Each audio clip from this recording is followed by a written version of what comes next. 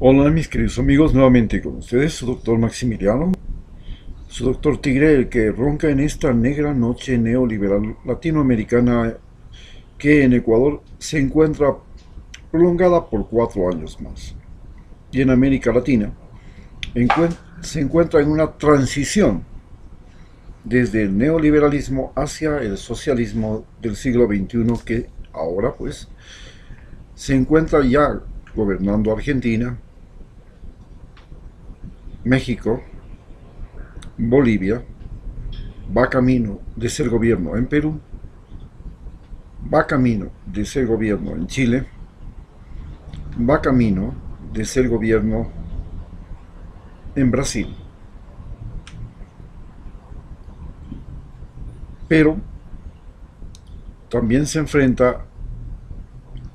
a corrientes del socialismo de el siglo XXI que se atrasaron porque están todavía circunscritas o limitadas a lo que fue los procesos de evolución del socialismo hasta el siglo XX. La diferencia entre el socialismo del siglo XXI y, el socialismo del siglo XX fundamentalmente está en que los gobiernos socialistas del siglo XXI son esencialmente gobiernos civiles elegidos mediante votación popular directa y que tienen una, un tiempo o una caducidad. Es decir, no son elegidos, no se pueden reelegir indefinidamente. En cambio, los gobiernos del socialismo del siglo XX, que todavía tenemos en, América Latina, como el de Cuba, el de ahora tenemos pues el de Venezuela y el de Nicaragua, tienen la particularidad de que en el caso de Cuba no nacen de elecciones donde haya más de un partido político en la competencia electoral. En el caso de Venezuela y Nicaragua, son elecciones en las que hay más de un partido político en la competencia electoral. Y en el caso de Nicaragua y de Venezuela, son partidos, son gobiernos que tienen caducidad y que tienen que, para poder prolongarse porque tienen derecho a prolongarse indefinidamente, para poder prolongarse por más tiempo, tienen que volver a ganar elecciones. Y en esas elecciones tienen que participar otros partidos políticos y esta es prácticamente la clave de el gran problema que tienen Nicaragua y Venezuela en que al tener un agotamiento los partidos políticos en el gobierno, hay una clara oportunidad para los gobiernos de oposición, para los partidos de oposición, que pueden llegar a ser gobierno. Esto significa para el socialismo del siglo XXI y para el socialismo del siglo XX, digamos, un gran revés, lo que no significa un gran revés para los eh, gobiernos del socialismo del siglo XXI. Porque en el socialismo del siglo XX hay un gran revés? Porque el Estado es el mayor propietario y al ser el Estado el mayor propietario, cuando cambia el gobierno de un gobierno socialista a un gobierno capitalista, a sus opositores, las propiedades del el Estado se privatizan, se rematan. Es decir, se convierten en botín, en botín político de los capitalistas que llegan a acceder al gobierno, especialmente de toda esa derecha neoliberal latinoamericana. Entonces la derecha neoliberal latinoamericana, se diferencia de la derecha neoliberal norteamericana en que la derecha no liberal latinoamericana es una, un parásito oportunista que trata de apropiarse de los bienes del Estado. Mientras que la derecha neoliberal norteamericana es una derecha que genera empleos, empresas, construcciones, situaciones, condiciones para que cada ser humano pueda ser el generador, el creador de la propia riqueza de la que él después va a ser dueño. En el caso de la derecha latinoamericana, la derecha latinoamericana ha querido utilizar al Estado, al poder político, a las Fuerzas Armadas, a la justicia, al,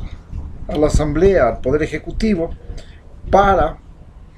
apropiarse de los recursos de ese país, tanto de los recursos materiales como de los recursos humanos, y concentrar esos recursos en el patrimonio de un grupo limitado de seres humanos que se llaman élites en América Latina. En Estados Unidos, los millonarios norteamericanos normalmente emergen desde la pobreza o desde la limitación económica y ellos crean una industria, una fábrica, un invento, un procedimiento, un negocio que se convierte en generador de empleo, de productos, de innovación, de ciencia y de tecnología. En cambio, en América Latina, las élites solamente tratan de apropiarse primero de la tierra, luego de las minas, petróleo y la riqueza que esté dentro del territorio, finalmente de la pesca y por último de la mano de obra barata. Y procuran tener mano de obra barata, mientras que en los países desarrollados como Estados Unidos procuran tener mano de obra calificada, inteligente y mientras más cara, mejor. Aquí se procura desde la universidad, especialmente en las universidades de estado, del Estado, crear mano de obra barata, trabajadores baratos, que desde su formación es barata hasta el salario que se les va a pagar cuando ingresan de la universidad es barata,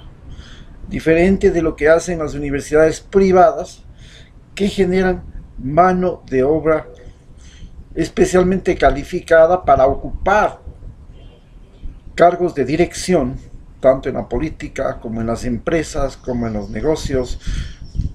en fin. Y este, esta mano de obra calificada, no solamente que es calificada, sino que está socialmente incluida, entran al rol, entran al círculo, entran al clan, entran al contubernio de los ricos. Y los ricos los admiten dentro de su círculo gracias al título que se puede obtener en una universidad como la San Francisco,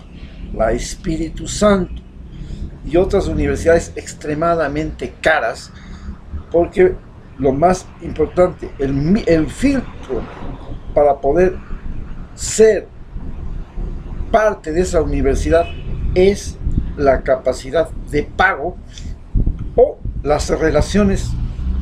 si es el hijo del ministro, si es el líder indígena,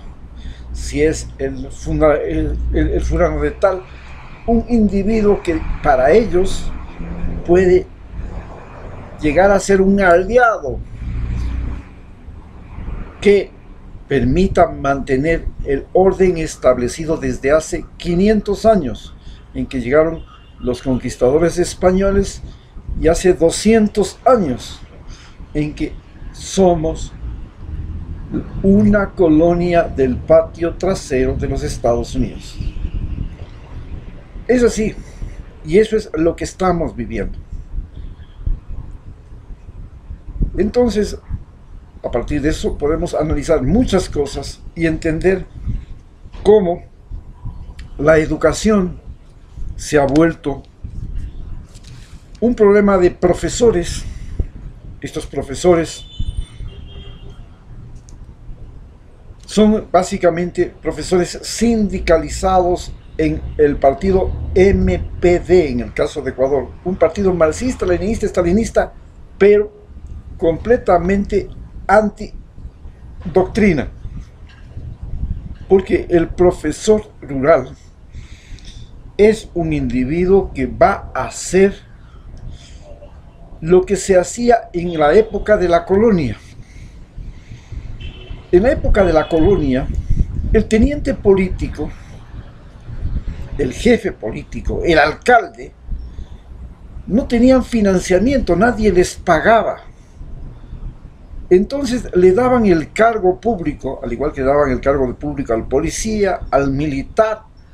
y él tenía que encontrar su autofinanciamiento. ¿Y cómo encontraba su autofinanciamiento? Pues extorsionando a la gente. Si alguien caía preso, para que no, por cualquier razón, por cualquier denuncia, por cualquier cosa, hasta porque era, entre comillas, en la época de la colonia, acordemos que tuvimos la Santa Inquisición, era acusado de ateo o de idólatra, cualquiera de esas cosas, iba a la, a la, estaba a punto de ir a la pena de muerte. Y el tipo, pues para salvarse, entregaba desde la mujer, la hija, la tierra, lo que sea. Eso fue la forma como se ejerció. Y en Ecuador los profesores rurales eran individuos muy mal pagados y redondeaban su salario pidiendo cuotas, haciendo exámenes, sobornando a los estudiantes, sobornando a los padres de familia, chantajeando, extorsionando e incluso no solamente que económicamente, sino que las calificaciones, inclusive en la Universidad Central donde yo estudié, donde el profesor de la Universidad Central de la Facultad de Medicina decía que lo que le pagan en la universidad no le alcanza ni para comprar los cigarrillos, obtenía en la universidad los estudiantes que después le remitían los pacientes e inclusive canjeaban notas por sexo. Eso era normal en la Universidad Central. Para nosotros, los que pasamos en la década de los 70, de los 80, por la Universidad Central, sabemos que eso era parte entre comillas, el normal statu quo, el estado de las cosas. Es así como nuestros profesores, aún en el tiempo actual, cuando llega Rafael Correa se cambia eso, se les paga mejor, el mejor salario de toda la historia, pero se les exige que ya no pueden tomar el, el examen que les da la gana de tomar, y con dedicatoria para saber, porque tenían que repetir el punto y coma, pero además alguna palabrita tonta que él consideraba que eso le convertía en el heredero de Dios del conocimiento. Y entonces, estos exámenes que eran muy diferentes en los colegios de los ricos, de los colegios de los pobres, y eran muy diferentes las calificaciones que tenían los ricos que las que tenían los pobres, porque eran diferentes las preguntas, diferentes los exámenes, diferentes las materias, diferente el, el, contenido de los estudios, se unifica con Rafael Correa y se crea un sistema de exámenes unificado para todos los colegios, con lo cual se creó una incomodidad total para los ricos, porque los ricos querían tener acceso al conocimiento exclusivo. pero resulta que ya no existía en el Ecuador el conocimiento exclusivo, sino que inclusive el inglés y el bachillerato internacional se podían aprender en los colegios estatales y de esa manera se podía estudiar en cualquier parte del mundo. No solamente que se podía estudiar cualquier cosa, sino que además se podía estudiar en cualquier parte del mundo. Se podía aplicar a becas internacionales. Esto les golpeó brutalmente a la educación en Ecuador. Y con Guillermo Lazo volvemos al pasado. Volvemos a una educación para indios que en la educación para indios, lo más importante, la educación bicultural que se llama, es educar a la población para mantener, entre comillas, la cultura y proteger a los ancestros, es decir, a los líderes que desde la época de la colonia han sido caciques, han venido desde familias de caciques y que siguen siendo caciques hasta ahora. Eso es el eje del problema de la educación bicultural en el Ecuador, que si bien protege el idioma, los conocimientos ancestrales, entre los conocimientos ancestrales está la cultura de sumisión al cacique.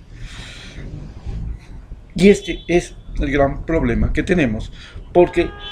en las culturas indígenas había machismo, pero salvaje. Maridito es que pegue nomás, especialmente en la sierra.